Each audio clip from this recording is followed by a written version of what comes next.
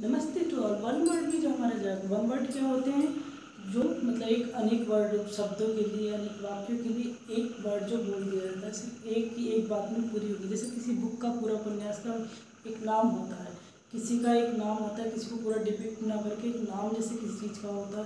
तो one word वो होता है कि कई वाक्यों को, कई शब्दों को जो एक अर्थ निकल जाता है, उसका उसे वन वर्ड कहा जाता है। सीधी सरल लैंग्वेज में ये है अब बात करते हैं वन वर्ड में फोबिया वाले जो हमारे फोबिया वाले वर्ड्स हमने लिखे हुए फोबिया वाले। फोबिया का क्या अर्थ होता है? इसका अर्थ होता है फियर फियर मतलब डर। डर। डर वाले वाक्य जैसे फियर ऑफ़ एयर किसी को अगर हवा से डर लगता है तो सीधा सीधा जैसे हवा के लिए, हवा से डरने वाला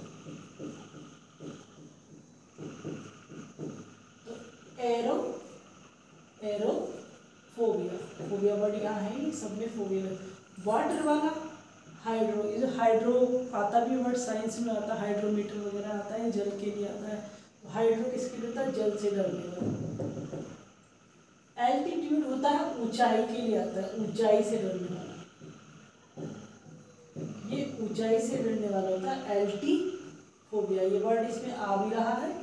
एल्टी फोबिया। फिर गॉड से जो डरते हैं, भगवान से डरने वाले वैसे कोई डरता नहीं भगवान से।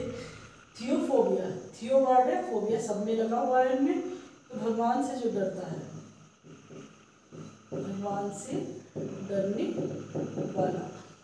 डेप्थ होता है गहराई। गहराई से जो समुद्र वगैरह की गहराई से या देखा जाए, छत से जो नीचे देखते हैं, कि वो डरते हैं, कि नीचे देख के वो गहराई से डरते हैं तो गहराई से डरने वाला बाथोफोबिया। से डरने नेक्स्ट है अग्लीनेस अग्निलेस जो मतलब सुंदर नहीं है, बहुत से सुंदरता, बहुत से डरते हैं, कोई लोग जो सुंदर नहीं होते हैं, उनसे डरते हैं। हालाँकि इंसान के गुण मायने रखते हैं, सुंदरता कोई मायने नहीं रखती अगर गुण है तो सुंदर आदमी भी अच्छा है, और अगली है, वो भी अच्छा है। गुण नहीं है तो कितना ही सुंदर आदमी हो, फिर कोई फ़ायदा नहीं उसका। तो अगली नेस वाले को कहते हैं, कैकोफोबिया। जो सॉरी मुझे लिखना पड़ेगा वर्ड बाकी मुझे लिखना पसंद नहीं है। बदसूरती से डरने वाला जो लेडीज़ ज़्यादा डरती है, आजकल तो खैर लड़के भी डरने लगी है। फायर आग से डरने वाला पायरो फायर पायरो आग से डरने वाला। आग से डरने वाला।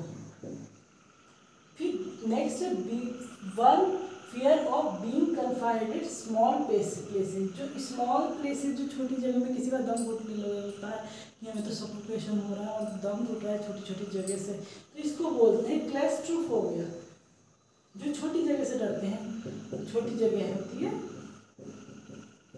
जगह से डरते हैं, डरने जो छोटी मोटी जगह में दम घुटने लगता है, वो उसका किसी का जैसे बस में गाड़ी में भी एकदम घुटता है छोटी जगह दम घुटने लगा हमारा। नेक्स्ट किसी किसी को डर लगता है भीड़ से क्राउड होती है भीड़ तो एकोलोफोबिया, भीड़ से डर लगेगा